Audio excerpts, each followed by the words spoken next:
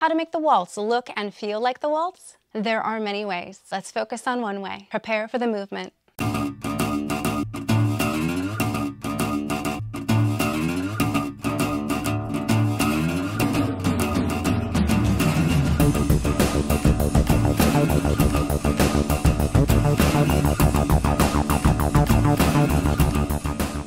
How we move our body balance and use our feet facilitates the grace of the waltz. Preparing our legs and feet for the transfer of body balance allows for the fluidity and softness of the movement. Muscle memory gained through repetitive exercises allows us to recreate the feeling and the movement anytime on the dance floor. Because of the rotational nature of the waltz, as the lead or the follow, I'll need to be able to move forward or backward on the dance floor. Let's do a simple prepare the movement exercise. For the forward walks, we'll use a heel to prepare to maintain the body balance.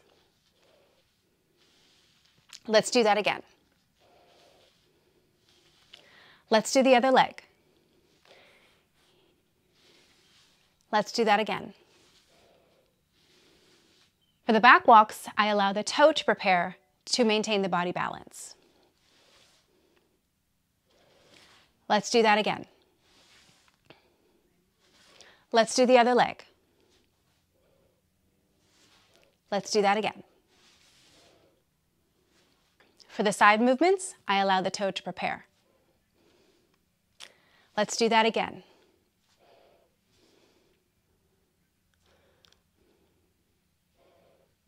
Let's do that again. Let's do the other leg. Let's do that again. Let's do that again. Now backwards. Let's do that again.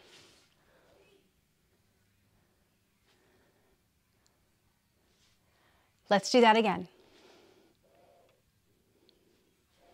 Let's do the other leg. Let's do that again.